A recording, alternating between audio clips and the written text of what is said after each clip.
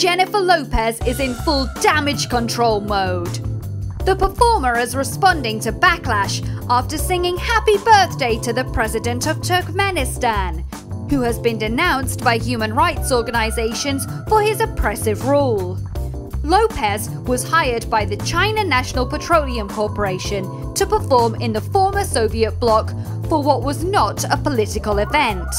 But as she was about to perform, she was asked to sing Happy Birthday to the President at the last minute, and she graciously obliged. Lopez's publicist has released a statement saying that she did not know about the human rights issues, and if she had, she would not have attended. Wonder if she'll return or donate the money she was paid for the performance? Because that would be out of sight.